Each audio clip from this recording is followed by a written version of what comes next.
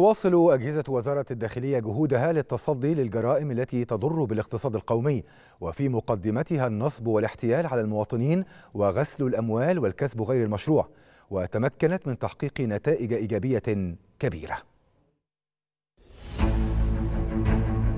استمرارا لجهود أجهزة وزارة الداخلية في تصديها لكافة الجرائم التي تضر بالاقتصاد الوطني وفي مقدمتها جرائم النصب والاحتيال على المواطنين والكسب غير المشروع وغسل الأموال وتقليد العملات.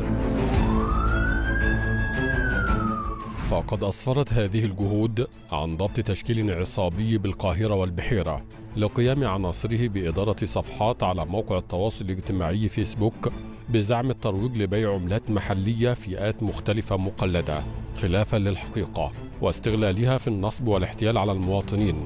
عن طريق تسليم راغب الشراء لفافات ورقية مغلفة بغلاف أسود محكم الغلق لتظهر وكأنها أوراق مالية مقلدة واستلام مقابلها مبالغ مالية صحيحة وأقروا بنشاطهم الإجرامي.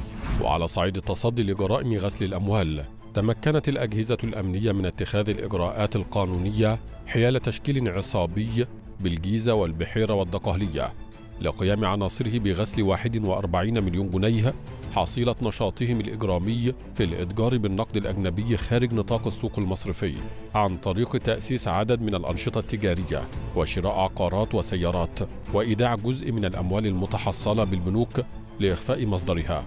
وإصباغها بصبغة شرعية خلافا للحقيقة.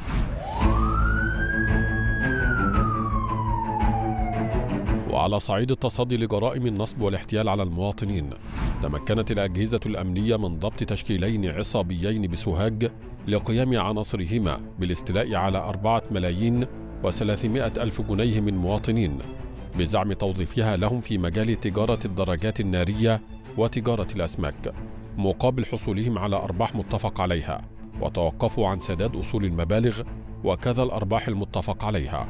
كما تمكنت من ضبط تشكيل عصابي بالدقهلية قام عناصره بالاستيلاء على أربعة ملايين جنيه من مواطنين بزعم توظيفها لهم في مجال تجارة الحاصلات الزراعية مقابل منحهم أرباح متفق عليها. لم يتمكنوا من سدادها كما توقفوا عن سداد أصول المبالغ المستولى عليها. وضبط تشكيلين عصابيين بالإسكندرية والغربية لقيام عناصرهما بالاستيلاء على أربعة ملايين وستمائة وخمسة وعشرين ألف جنيه من مواطنين بزعم توظيفها لهم في مجال الاستثمار العقاري والتجارة مقابل منحهم أرباح متفق عليها. توقفوا عن سدادها كما امتنعوا عن سداد أصول المبالغ المستولى عليها. وفي إطار مواصلة الجهود لمكافحة جرائم الكسب غير المشروع تمكنت الأجهزة الأمنية من ضبط أحد الأشخاص بالإسكندرية.